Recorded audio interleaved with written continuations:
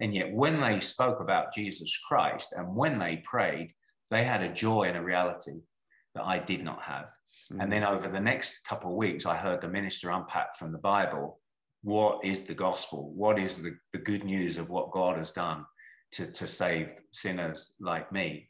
And I, and I realized that then that the, my biggest problem was not to gain the approval of the crowd on a Saturday, but to be in a right relationship with the living God against whom I'd sinned, uh, under whose judgment I stood. And yet, because of his great grace and mercy, had provided a sacrifice for sins, forgiveness, uh, and atonement in the Lord Jesus Christ, his own Son, who uh, his life, death, and resurrection. And I was given repentance and faith, and I believed, and uh, and since suddenly, you know, born again, I'm a new creation.